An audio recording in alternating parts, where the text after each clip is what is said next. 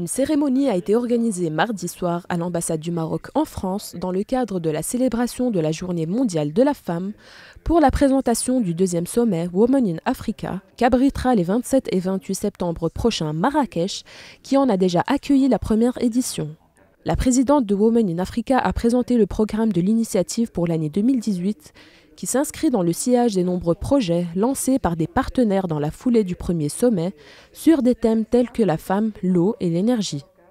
C'est maintenant que ça se passe. Il y a des initiatives qui vont être portées par nos clients et nos partenaires sur, euh, par exemple, les femmes et l'eau, euh, dans l'énergie également. Et il y a un projet de banque de femmes qui est en train d'être étudié à la suite de Marrakech, euh, qui apporterait un système de crédit aux femmes pour l'entrepreneuriat. Et voilà, et là nous préparons la prochaine édition où nous attendons presque 70 pays et plus de 500 personnes, toujours à Marrakech. Mais comme on nous a demandé aussi d'aller en Afrique subsaharienne, nous faisons notre première Regional Meeting à Dakar le 12 avril prochain sur le thème de femmes et entrepreneuriat.